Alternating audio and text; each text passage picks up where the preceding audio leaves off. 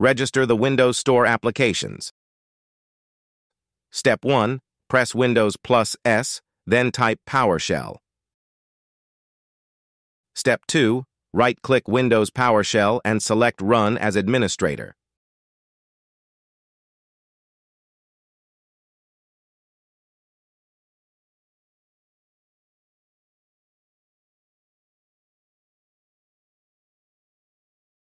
Step 3. In PowerShell, admin, type get AppX package. Foreach, add AppX package, disable development mode, register, dollar install location, AppX manifest, XML, and press enter. Step 4. Close PowerShell and restart your computer.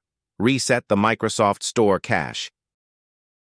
Step 1. Type wsreset.exe in the Start search bar. Right-click the result and select Run as administrator.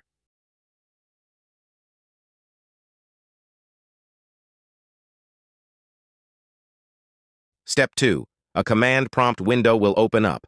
Soon, Windows Store will open and it will reset the cache. Update all Microsoft Store apps. Step 1. Open the Microsoft Store app.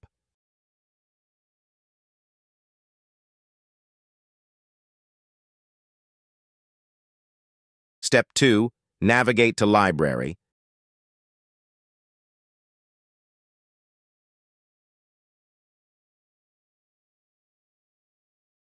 Step 3. Hit Get Updates.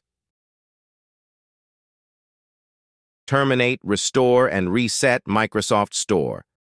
Step 1. Type settings in the search bar and click Open.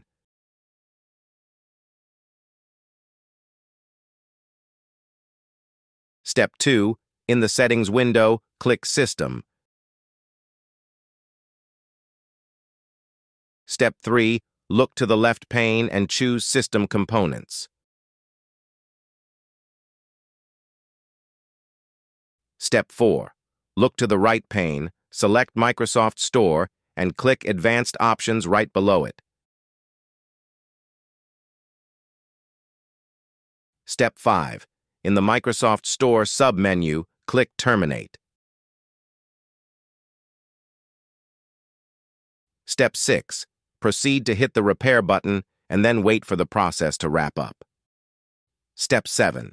Lastly, click the Reset button and allow the process to run all the way. Step 8. Close settings and launch the application again.